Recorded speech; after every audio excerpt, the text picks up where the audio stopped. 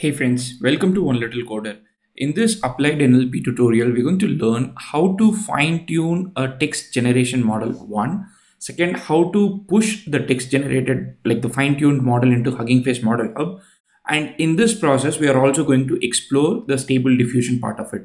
So this is a combination of a lot of different things. I'm going to show you how the final outcome is going to look like. Then I'm going to get into the tutorial.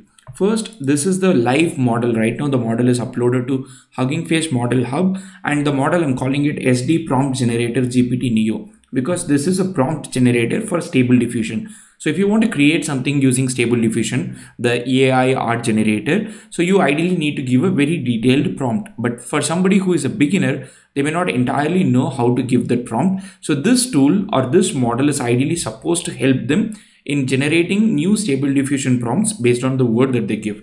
For example, let me refresh the page. After I refresh the page, you can see that I've got an empty thing and I can give something here. Like for example, here I can say um, uh, computer scientist working late in the night and I can say compute. Now when I say compute, it's going to fill in the details that will make your prompt look good or that will make your prompt more detailed for stable diffusion to create a really good image um, because prompt engineering this is going to help in prompt engineering.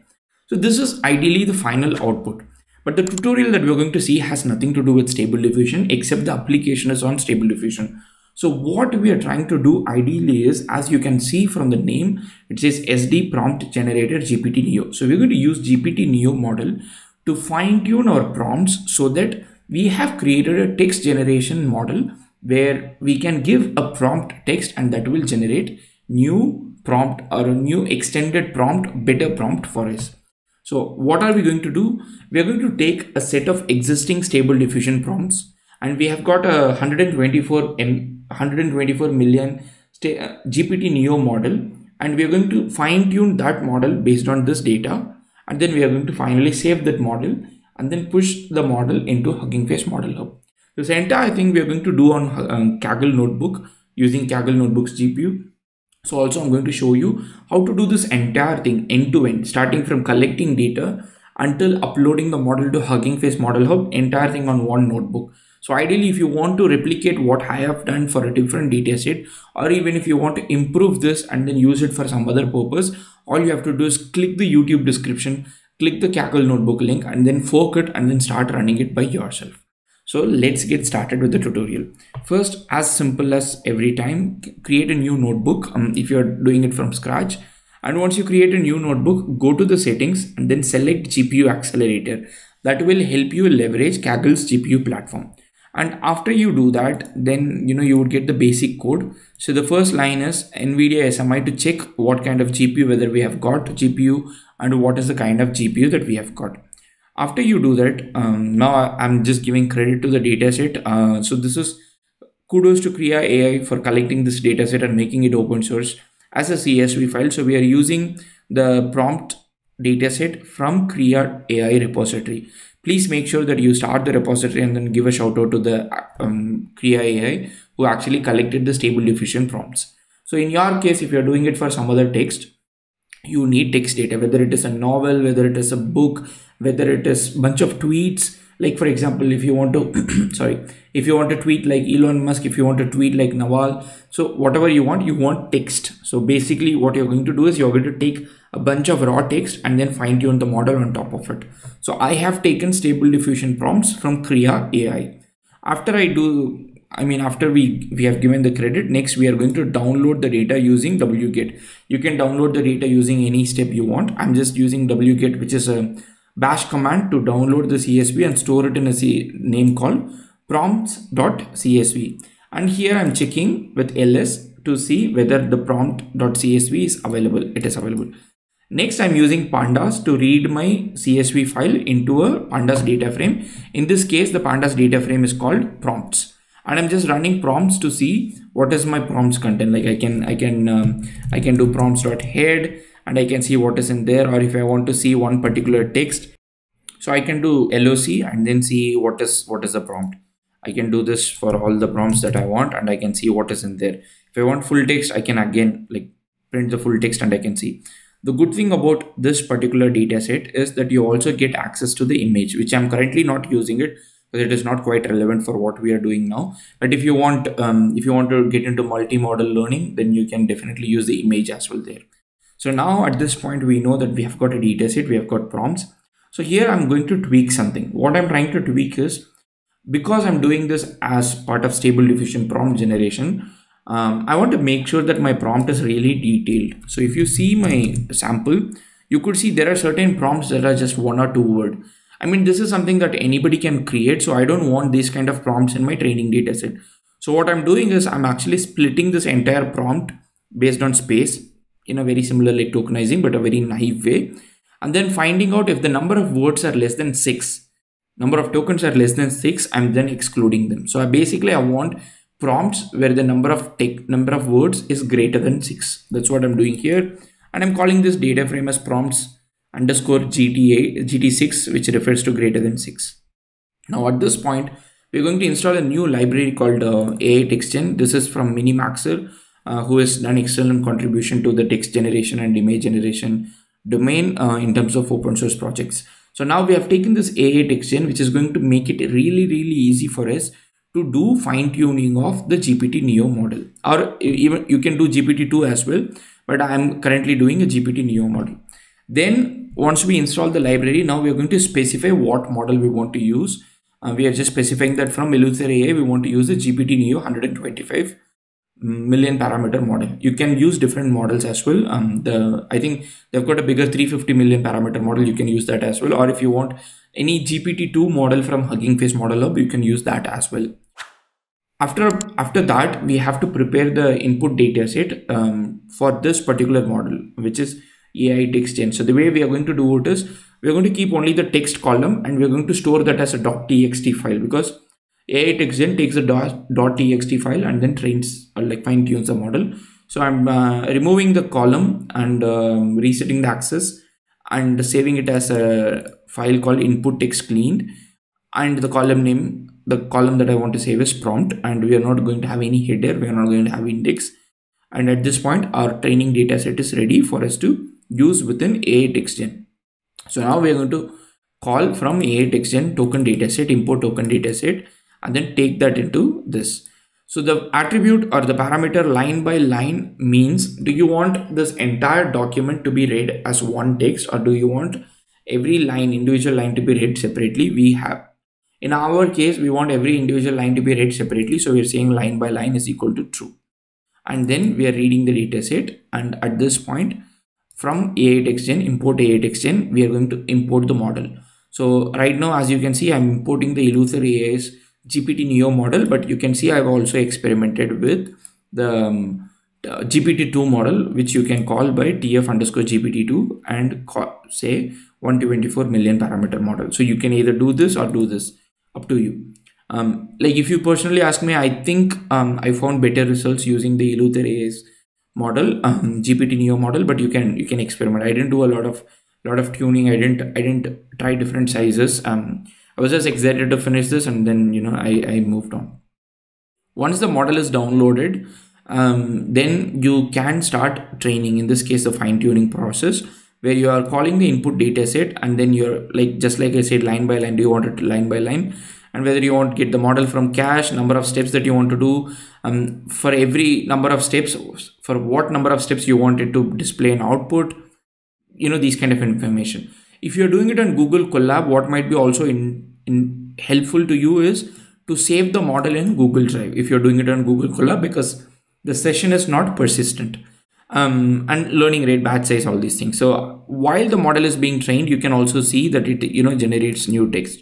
You can see how it does.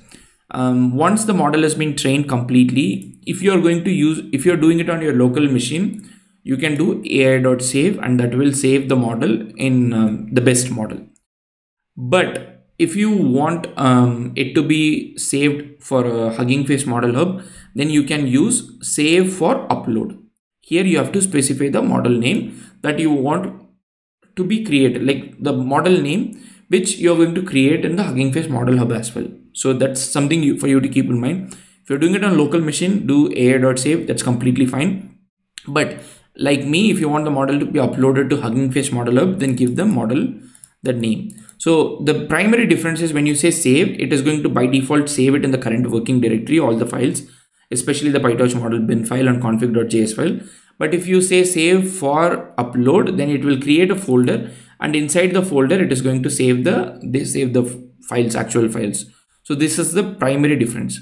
Once you save the model you can specify the model folder from where the model has to be loaded and then that can be your new um, model. Like previously if you saw the model name was ai but right sorry ai um, right now you are calling that model or in, inputting the model into a new object called prompt underscore AI, which comes from the model that you just fine tuned and saved it in your local folder or, um, you know, wherever you have saved it or Google Colab.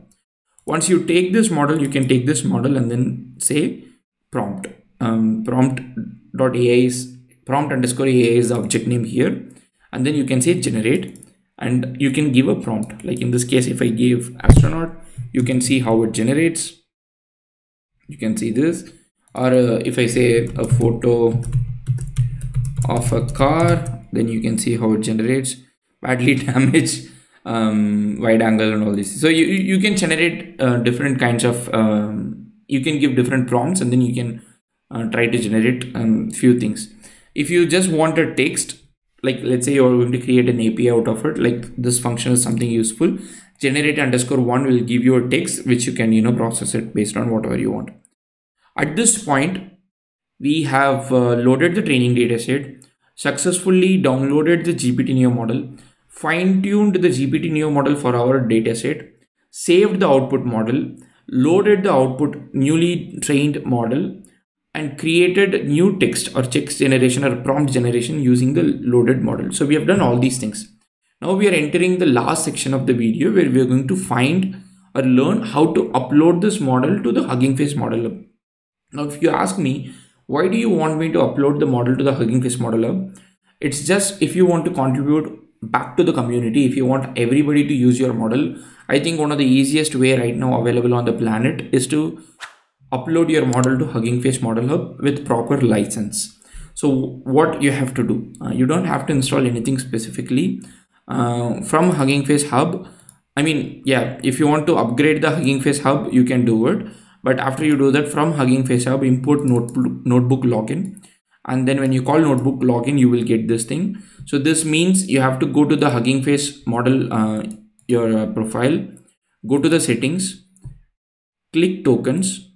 And here you can copy, uh, you already have access token or you can create a new token. Copy the file here, uh, the token, come back here and then you can paste it and click login. It would login, it would save the token in your current directory and then it would log you in and after you log you in then we are going to start the process at this point the authentication is successful then we are going to start the process of uploading the model to the model hub. Now there are a lot of different ways to upload the model to a model hub. You can use git to do it. Um, if you have large files then you need git lfs you have different different ways. Uh, or you, even you can go to the the model hub interface in itself and then do it. But the way i'm going to show you is to use the Hugging Face API to do it. But before you do this thing, what you have to do is you have to go to your Hugging Face profile, go click new model, click your profile picture, click new model and give the same model name that you have mentioned here. And once you have the same, I mean, you can have different model name as well. Just make sure that you know the name. Once you have that, then come back here um, and then run these lines from Hugging Face Hub, import HF API. API is equal to HF API and then you can call upload folder and inside upload folder you have to specify these four things first thing what is the current folder path your current folder path is this second what is the path in the repo which is the root file? What is your repo id your repo id is what we just created the model. And then finally what type of repo it is? Is it a data set? Is it a model? Just give model. Once you run this then finally you will get the link where if you click it, it will take you to the Hugging Face model hub and the model as well, like the entire details you can see here. Once you click this, like right now, I don't have the model card available. Um, uh, I can edit the model card and add the details here, like what kind of model it is, how did I fine tune it, where they can see the fine tuning code or all those things. But you also get access to the Hugging Face hosted inference API because we pushed it through this. Now I can come here and then say um, something like a computer mouse space and then type enter and then that would that would you know create some prompt for me like I can say uh, Mona Lisa's photo and I can click compute and you can you can get the information. So um, you can say an ast let me refresh it. Um an an astronaut space. And then it's going to create something. So you can you can basically see how to do this thing. Right now this model is definitely not perfect as you can see with the result but the point here is not to make a perfect model but make something and then also make a video tutorial and also open source the code that so that you know all of you can create something of your own um, something that is much more better than what i have created and then also contribute back to the community. So to quickly summarize what we learned in this video. We learned how to fine tune a text generation model using ai text gen and we did this entire thing in hugging face uh, sorry kaggle notebook we also did this using stable diffusion prompts thanks to um, Krea AI. And we finally learned how to upload the model or how to create the model, new model on Hugging Face Model Hub so that anybody can consume that model and then create their own text generation model. So we have done an end-to-end -end tutorial of fine-tuning a text generation model. I hope this video tutorial was helpful to you. Like I said at the start, all these essential links, the model hub link, the Kaggle notebook link will be in the YouTube description. Um, you can like the video if you like it. Encourage your friends to subscribe to the channel. But otherwise i'm always open for feedback and comments. Please let me know in the comment section. I hope this was helpful to you. See you in the next tutorial. Peace